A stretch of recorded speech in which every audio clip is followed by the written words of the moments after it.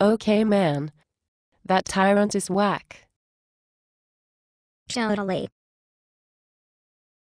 He has lost his marbles. Why can't we have a voice in how the country is run?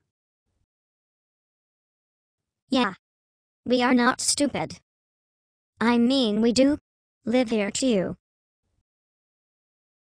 If we rally together, we can all come together to vote on things that are important to us. Cool. That way we all have voice in government. This idea rocks. It sure does rock. Now we just need to come up with a name for giving the power to the people. I know.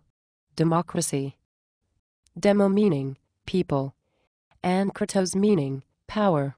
Yes, we shall be a democracy. A government by the people and for the people. You said it, man.